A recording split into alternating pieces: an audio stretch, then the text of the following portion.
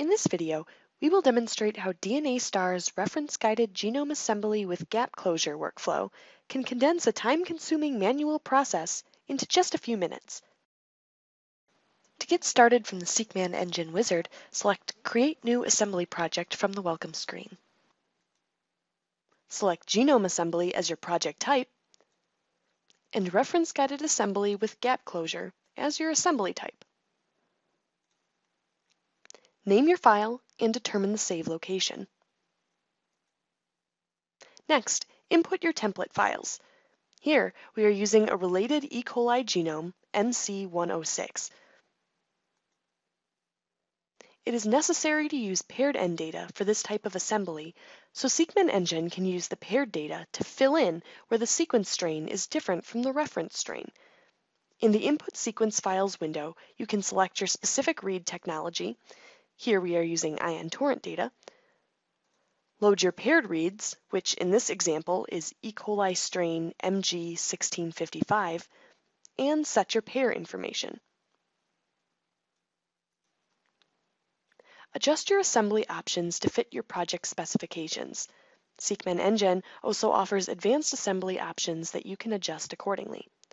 For this particular example, we will leave all parameters at their default settings. You are now ready to begin your assembly and can preview the script. Click Assemble to get started. After your assembly is completed, you can view the detected structural variance between your reference and your assembled sequence. SeqMan NGen will generate three assembly projects at different stages of processing. The least processed file is the generated BAM file, where nothing has been split. If we look at the structural variation report by selecting Contig, Structural Variation Report, we can see that 31 different structural variants have been identified. In SeqMan Pro, we can identify insertions. We'll look at this one as an example. By scrolling down the read alignment in the alignment view until we can spot this trim point. If we untrim the reads, we can see that there is poor alignment in this region, and this indicates an insertion at this point. We can also identify deletions in SeqMan Pro. We'll examine this one as an example by clicking Contig strategy view,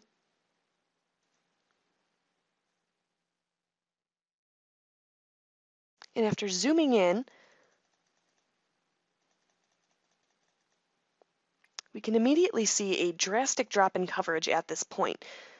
We can also look at the pair data by selecting the paired end display icon, and then the paired end dialog icon, and finally select split sequences to display.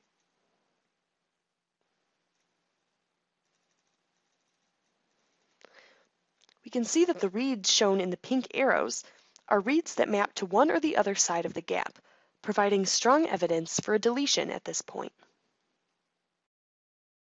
In the most processed file, marked aligned in the file name, reference genome bias is removed and novel regions are auto-assembled, removing many processing steps that would otherwise have to be done by hand. What SeqMan NGen has done between the BAM file you just saw and this aligned file is to identify structural variants, split the referenced assembly at structural variant coordinates, excise the reference and merge deletion split reads, fill in insertion regions via de novo assembly, maintain the contig order in the scaffolds, and finally, assemble de novo contigs and insert these contigs into scaffolds. Ultimately, 28 of the 31 structural variants are automatically resolved. These last three structural variants are larger insertions. These can be resolved by de novo assembly of unmapped reads. The resulting contigs can then be used to close the scaffold gaps. If you have any other questions about SeqMan NGen, SeqMan Pro, or automated bacterial genome closure with a reference, please visit our website at www.dnastar.com or contact us at support at dnastar.com.